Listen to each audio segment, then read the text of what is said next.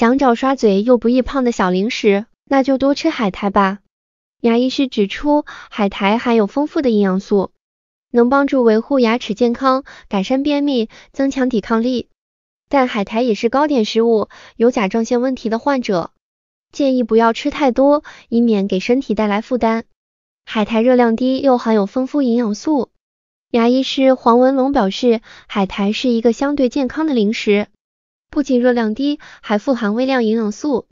吴心林营养师也指出，含有丰富的膳食纤维、维生素 A、维生素 C、蛋白质、钙、镁、铁等。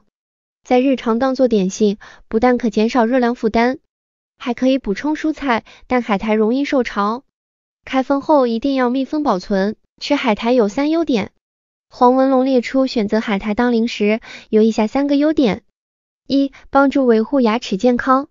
海苔能补充钙质，每一百克海苔约有两百八十毫克钙质，钙含量比菠菜和空心菜丰富，有助于维护牙齿健康。二、改善便秘。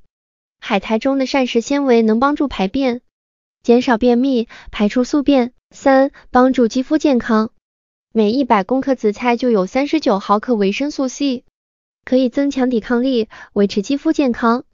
而维生素 C 是水溶性维生素，会不断流失，刚好能透过点心来补充。海苔怎么吃最健康？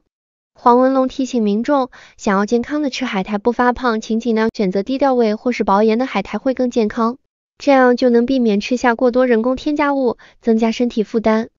高雄荣总和医科主任陈宏远也提醒，海苔虽然健康，却是高碘食物，有甲状腺问题患者建议一周吃一到二片就好，避免过量的碘给身体带来负担。感谢收看，欢迎订阅、按赞、分享。